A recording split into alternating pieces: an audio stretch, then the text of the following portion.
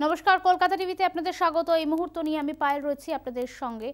এবং এই মুহূর্তে শুরুতে আমরা যে খবরের দিকে চোখ রাখব, এবার মৃত ব্যক্তির নাম আবাস যোজনায়।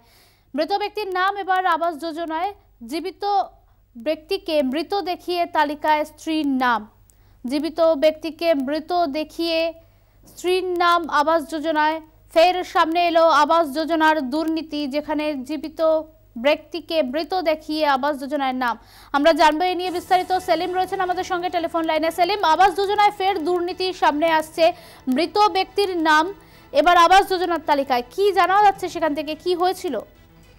দেখো পায়েল, তোমাকে জানি নাকি যে বিভিন্ন দুর্নীতি পাশাপাশি এবার সিপিএম এর সদস্য পরিবারের চার সদস্য পরিবারের বিরুদ্ধে আবাস যোজনার নাম তালিকায় উঠে জীবিত ব্যক্তিকে, জী- জীবিত মানুষকে মৃত্যু বলে দেখিয়ে আবাস যোজনার তালিকার নাম উঠে এলো যে মুর্শিদাবাদ ফারাক্কার দু- দু নম্বর ব্লকের বেউয়া বেউয়া যে পঞ্চায়েত রয়েছে সেই পঞ্চায়েত যজ্ঞেশ্বর এলাকায় সিপিএম সদস্য জিমি রায়ের পরিবারের বিরুদ্ধে গ্রাম এলাকাবাসীদের অভিযোগ যে ফারাকা ব্লকে যে পঞ্চায়েতের অন্তর্গত এলাকা সিপিএম সদস্য জিমি রায়, তার পরিবার তালিকার নাম নাম রয়েছে। আর তার তার স্বামী জিমি রায়, দেওর শ্যাম- রায় এবং এছাড়া জিমি রায় শাশুড়ি বিজয় রায় এবং শাশুড়ি ছায়া রায় এই চার সদস্যের নাম আসতেই এলাকায় আহ, রীতিমতন চাঞ্চল্য আর জীবিত থাকা সত্ত্বেও তাকে মৃত্যু দেখিয়ে বিজয় রায়ের স্ত্রী ছায়া রায়ের নাম আবাস যোজনার তালিকা আসতেই এলাকায় সরগোল ছড়িয়ে পড়ে। এলা- এলাকাবাসীর দাবি তাদের আবাস যোজনা তালিকা সঠিক করে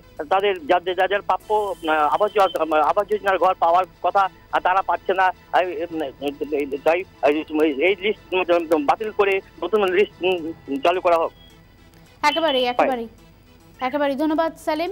আমাদের সঙ্গে টেলিফোন লাইনে ছিলেন প্রতিনিধি সেলিম। আপনাদের আরও একবার জানিয়ে রাখি জীবিত ব্যক্তিকে মৃত দেখিয়ে তালিকায় স্ত্রীর নাম।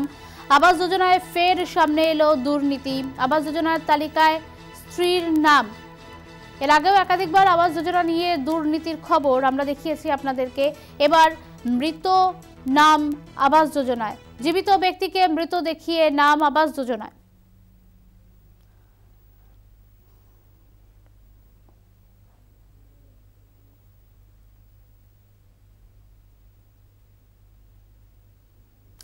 ব্রিজভূষণ শরণ সিং এর বিরুদ্ধে যে যৌন হেনস্থার অভিযোগ আনা হয়েছিল সেই যৌন হেনস্থার অভিযোগে এবার সাত সদস্যের একটি কমিটি গঠন করা হলো দোলা সেন থাকবে সেই কমিটিতে থাকবেন আরও দা- যারা ক্রীড়া ব্যক্তিত্ব রয়েছেন তারা ক্রীড়ামন্ত্রী অনুরাগ ঠাকুরের উদ্যোগে এই কমিটি গঠন করা হচ্ছে আমরা জানবো এই নিয়ে বিস্তারিত আমাদের সঙ্গে टेलीफोन लाइने রয়েছেন প্রতিনিধি नीरज ठाकुर नीरज जी जो खबर आ रहा है वहां से फिलहाल कुश्तीगीर जो है जो खिलाड़ी है उन लोगों को आ, आस, मतलब बोला गया है कि एक कमेटी गठन किया गया है और वो कमेटी गोटा, ये जो पूरा विषय है उस विषय की जो छानबीन करेगा। और क्या जानकारी है इस विषय में?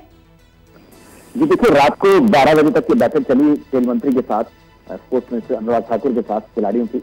और उसके बाद उसमें एक हल निकला कि कमेटी बनाई जाएगी, जो खिलाड़ियों की सहमति से कमेटी बनाएगी मिनिस्ट्री और वो जाँच करेगी सेक्सुअल हेरसमेंट की केसेस की, गड़बड़ियों की और जो फाइनेंशियल रेगुलरिटीज कुश्ती महासंघ में हुई है उसकी जाँच करेगी।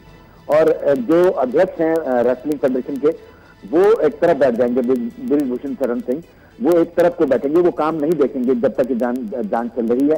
यानी वो रिजाइन नहीं करेंगे लेकिन वो इंटरफेयर नहीं करेंगे और ना ही कुश्ती महासंघ का तब तक काम देखेंगे।